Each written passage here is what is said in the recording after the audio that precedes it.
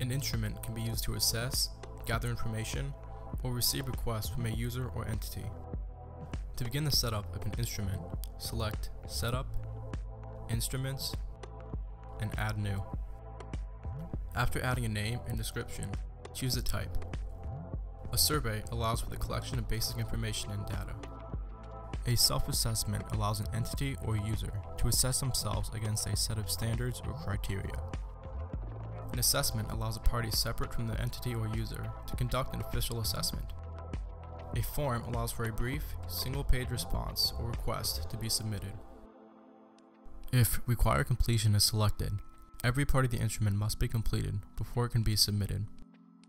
In the context of a self-assessment, private responses will allow the results of the assessment to be visible only to the assigned user.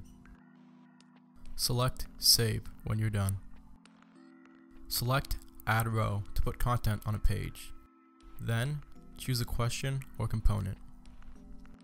From here, the type and format can be changed. This will later be explained in greater depth. Remember to press Save. Settings can be changed by question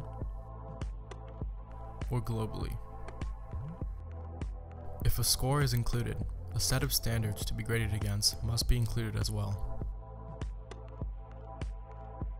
When you're finished, save and publish your instrument for it to be visible under the Published tab.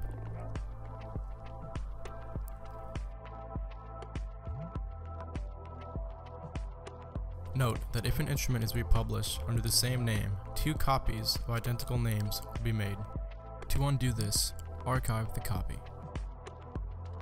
You are now ready to use your newly created data collection instrument.